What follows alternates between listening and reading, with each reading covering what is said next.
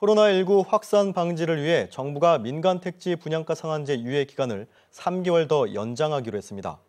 이에 따라 이달 말과 다음 달 초에 예정된 조합총회 일정도 연기하도록 했는데 일부 단지는 강행한다는 계획이어서 마찰이 예상됩니다.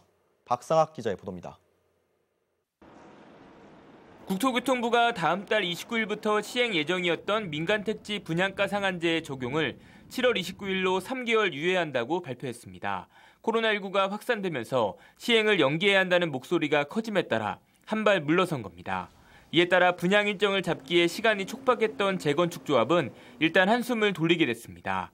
주택 도시보증공사와 일반 분양가를 놓고 마찰을 빚던 강동구 둔촌주공이 대표적입니다. 하지만 분양 일정에 여유가 생긴 것 외에 부동산 시장에 큰 영향은 없을 것이란 전망이 나옵니다.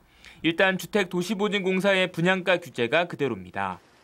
대표적인 분양가 상한제 적용 지역인 반포의 경우 당장 분양이 임박한 단지가 신반포 3차 경남뿐인데다 일반 분양 물량도 크게 줄었습니다. 3천 세대인데 3천 세대의 15%도 안 되는 10%도 안 되는 200세대가 일반 분양을 앞두고 있어서 실질적으로 분양가 상한제에 영향을 안 받을 것 같습니다.